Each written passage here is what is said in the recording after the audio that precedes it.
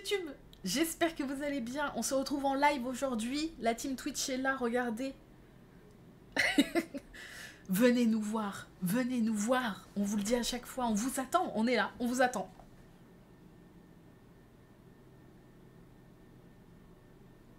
Ben alors, vous faites quoi? Vous êtes toujours pas là?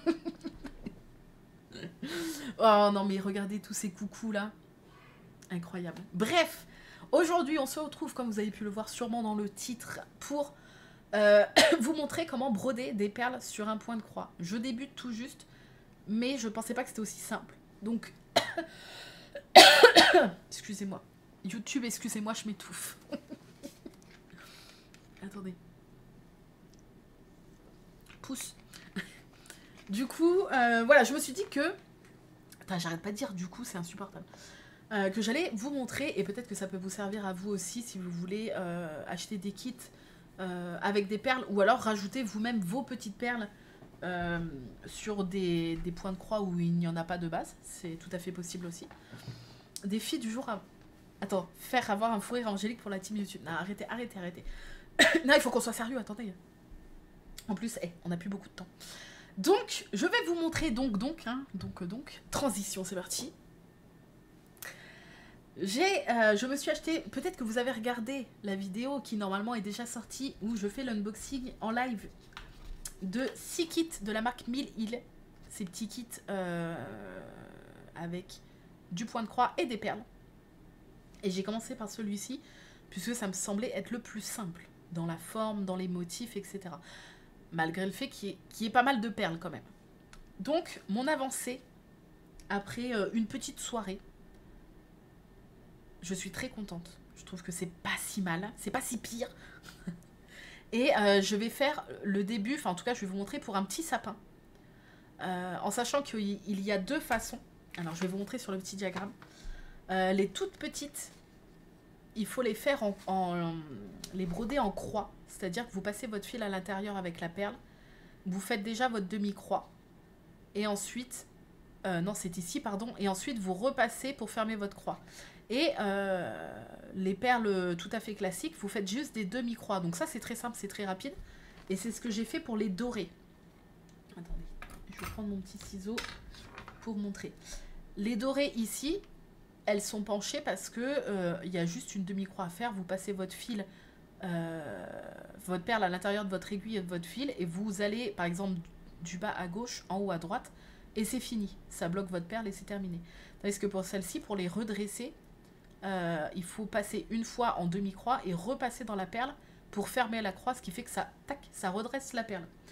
Euh, le sens, vous voyez, c'est des perles Miyuki. Donc c'est des perles qui sont un peu cylindriques comme ça, un petit peu carrées. Et donc la perle a un sens, soit elle est debout comme ça, soit elle est couchée comme sur le modèle. Vous voyez là, les perles, elles sont couchées. Et moi, elles sont debout, euh, puisque ça dépend dans quel sens vous fermez votre croix. Il y a, vous allez le voir en, testant, il y a un sens où ça va vous coucher la perle et un sens où ça va vous mettre debout la perle. À vous de voir ce que vous préférez. Moi, j'ai choisi de mettre les perles debout. Je trouve que ça fait un sapin un peu plus euh, touffu. C'est n'importe quoi. Euh, là, je trouve que ça fait un petit... C'est très joli, mais je trouve que ça fait un peu plus euh, tassé. Donc moi, j'ai fait ce choix-là.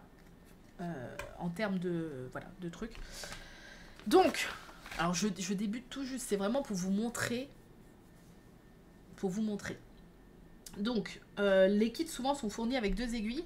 Une aiguille classique pour le, point de croix et une aiguille très très très très fine pour les perles. Puisqu'il faut que les perles passent dans l'aiguille. Alors, donc, donc, hein, le retour du donc.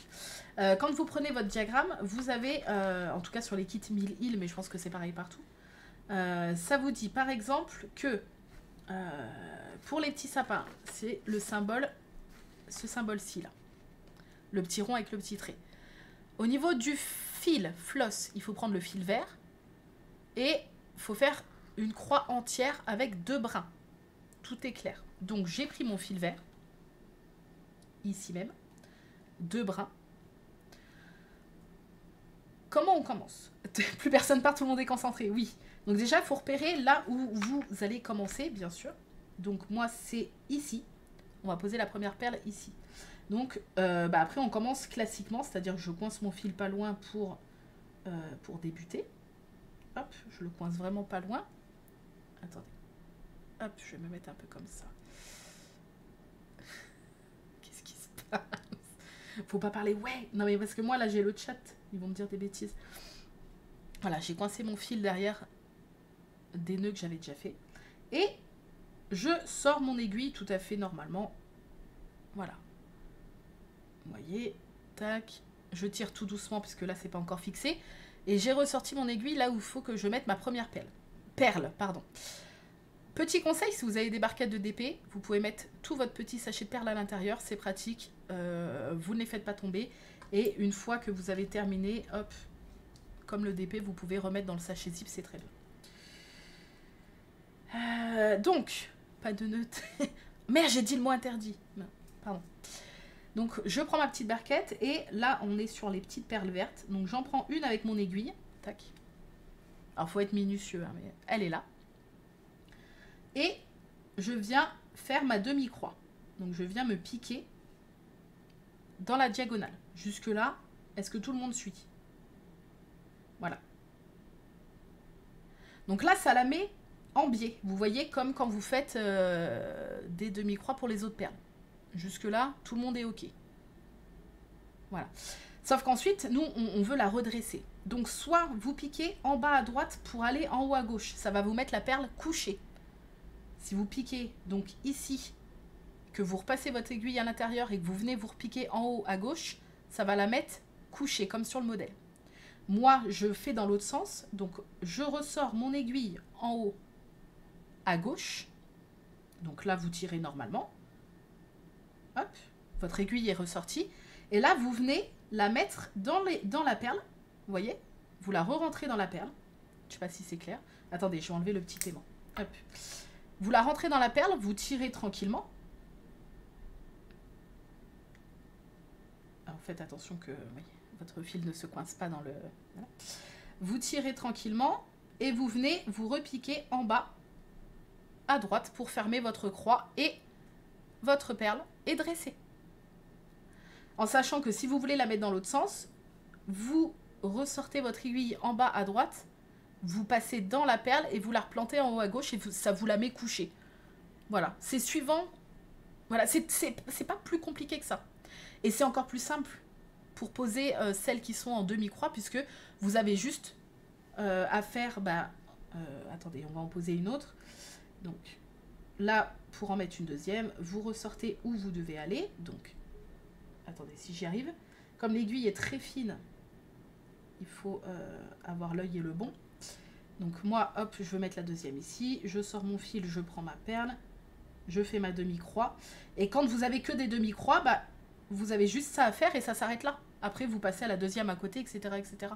Donc les, les, poser ceux-là, là, comme les dorés, c'est très rapide.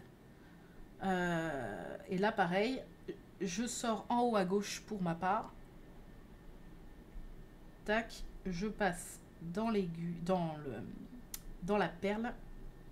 Je tire mon aiguille tranquillement et je ressors en bas à droite de ma croix. Je tire doucement et c'est posé. Non mais en vrai c'est très simple. C'est très très simple, vous avez vu? Et après elle ose dire que le crochet c'est compliqué. Non mais je vous jure. Mais c'est pas compliqué. Attention, on continue. Hop. Je ressors à côté puisque je suis mon diagramme. Je prends ma petite perle. Si j'y arrive. Le plus dur, c'est de réussir à choper la perle en vrai. Vous piquez donc pour faire votre première diagonale. Ça vous met la perle de travers, c'est normal. Hop. Moi, je ressors en haut à gauche je récupère mon fil, enfin mon aiguille, je passe dans la perle, tac, je ressors tranquillement et je me repique en bas à droite.